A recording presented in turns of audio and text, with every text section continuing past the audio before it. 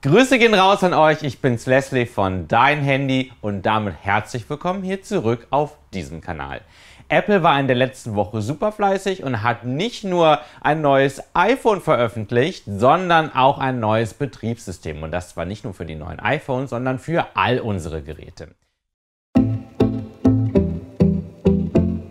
Ein Feature, worauf wirklich alle gewartet haben, ist der Dark Mode. Man musste sich in den letzten Jahren bei Apple so ein bisschen behelfen. Da gab es schon etwas in den Bedienungshilfen, aber so richtig doll war das jetzt nicht. Es gibt jetzt einen offiziellen Dark Mode und wie ihr den findet, das ist ganz einfach. Ihr schnappt euch euer Smartphone, unlockt das Ganze, haltet Ausschau nach der Settings-App, geht dann ähm, ein bisschen runter in den Einstellungen, bis da ein Eintrag kommt zum Display. Den tippt er bitte an und dann springt euch auch schon Light und Dark an. Cool. So, das heißt, ihr könnt euch jetzt entscheiden, wie euer iPhone aussehen soll. Ähm, ich persönlich habe mir das so eingestellt, dass das Ganze nach, Son nach Sonnenuntergang sich umstellt, also automatisch quasi in den Dark Mode wechselt, was für meine Augen sehr angenehm ist. Ihr könnt es aber auch nach eurem ganz persönlichen Plan gestalten. Das ist ganz einfach. Tippt ihr dann quasi einfach hier auf diese Option, wann das Ganze stattfinden soll.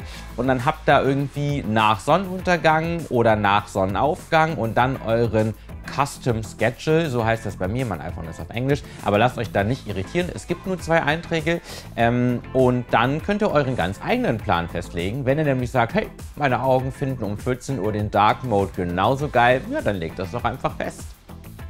Ein weiteres Feature, was iOS-Nutzer in Freudenstürme versetzen wird, es ist zwar klein, aber haut deswegen trotzdem ganz schön rein, ist nämlich die Überarbeitung der Fotos-App und im Speziellen die Möglichkeit, dass wir endlich, thank God, oh mein Gott, endlich Fotos und Videos mit Filtern gleichzeitig bearbeiten können. Und nicht nur das, wir können nicht nur Filter auf die Video klatschen, quasi in Realtime, sondern die Videos auch noch drehen und alles machen, was man sonst auch mit Fotos machen konnte. Ist das nicht der Wahnsinn? Und das zeige ich euch ganz kurz, kurz wie das geht. Dazu schnappt ihr euch wieder euer Handy, entsperrt das Ganze, geht in die Fotos-App ähm, und hier habe ich ein kleines Video gerade gedreht von Behind the Scenes mit der Mayel und unserer Kamera, die ähm, äh, fleißig das Ganze hier aufnimmt. Und ihr habt dann da oben so einen Edit-Knopf ähm, und hier seht ihr auch schon endlich die Möglichkeit, Filter anzuwenden. Das tue ich jetzt hier gerade. Mein Lieblingsfilter ist dieser Dramatic Cool, der ist der Wahnsinn, wenn ihr mich fragt. Und das Ganze hier auch einmal flotti Karotti zu drehen und zu beschneiden sogar, wenn ich will. Jetzt wird es gesaved. Und gleich ist es fertig. Trommelwirbel, Trommelwirbel, Trommelwirbel, zack. Wahnsinn, oder? So einfach geht es hier mit dem neuen iOS 13 und eurer Fotos-App. Könnt ihr euch noch an die Momente erinnern, man ist mit Freunden unterwegs, man fährt zusammen zur Party oder in den Club und will schon mal so richtig sich in Stimmung bringen. Sitzt in der Straßenbahn und jeder hockt so über seinem Handy, hat seine AirPods drin und wartet nur darauf, dass wir alle synchron Play drücken, damit wir ungefähr dieselbe Musik hören, keinen anderen stören und unsere Silent Kopfhörer AirPod Party machen können. Oh mein Gott, wie anstrengend. Wir kommen von einer Zeit von Kabelverlängerungstwistern, wo jeder sich so reinklicken konnte. Ähm, dann haben wir den Trouble gehabt, dass keiner synchron Play drücken konnte und das hat Apple erhöht nämlich mit dem neuen Feature eine Audioquelle zu haben und mehrere AirPods damit bedienen zu können. Ähm, das geht egal, was ihr tut, ob ihr Filme schaut oder Musik hört.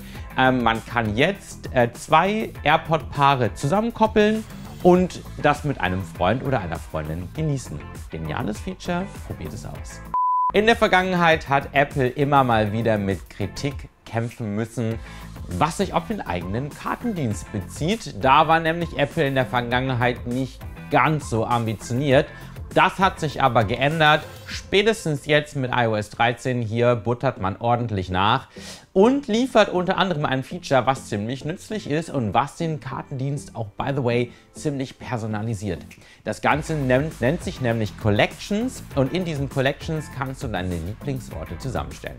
Wir gucken da einfach mal zusammen rein. Ich unlocke mein iPhone öffne Maps und das erste, was ich schon direkt sehe, nach einem kleinen Swipe-Up von dieser Menüleiste hier, äh, äh, Kollektionen sind prominent platziert. Und hier kann ich jetzt im Prinzip meine Lieblingsorte, Lieblingsbahnverbindungen, Lieblingskaffeehäuser oder die nützlichsten Ärzte, die ich irgendwie im Umkreis von 500 Metern finden kann, zusammenstellen. Egal was, Hauptsache Collections helfen dir, deinen Alltag einfacher zu gestalten.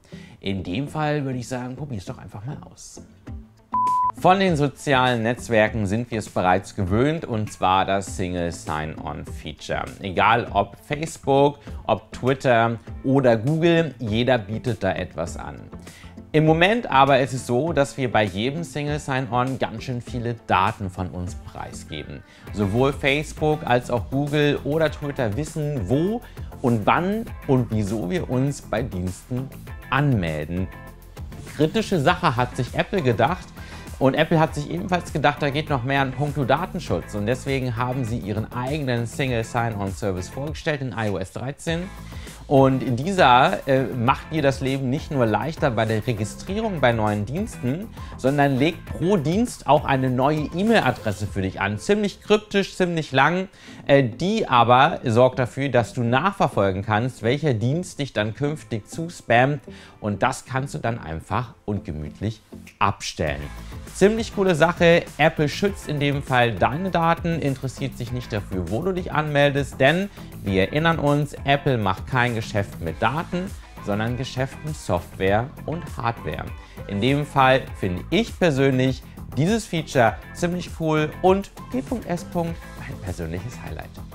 Das war's, dein Top 5 Guide durch die besten Funktionen von iOS 13. An dieser Stelle kann ich nicht viel mehr sagen als Danke fürs Zuschauen und natürlich, ihr wisst, was jetzt kommt, aber ich sag's, weil ich es immer sage, ähm, abonnieren nicht vergessen, Glocke aktivieren, haut diesen Button kaputt, bis es klingelt und hinterlasst Kommentare, Kritik, Feedback, Essenswünsche, Getränkebestellungen, alles unten in die Kommentare. Ich freue mich auf euch beim nächsten Video, im nächsten Video, mit dem nächsten Video. Seid dabei. In diesem Fall habt eine tolle Zeit. Bis dahin.